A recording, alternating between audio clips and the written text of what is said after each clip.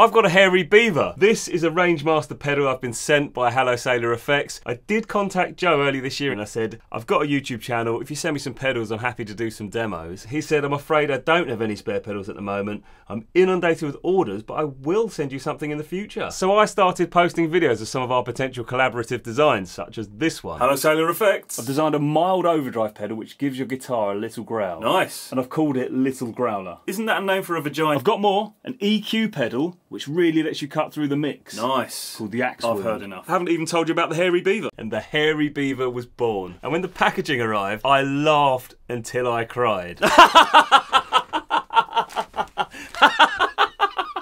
Are you ready?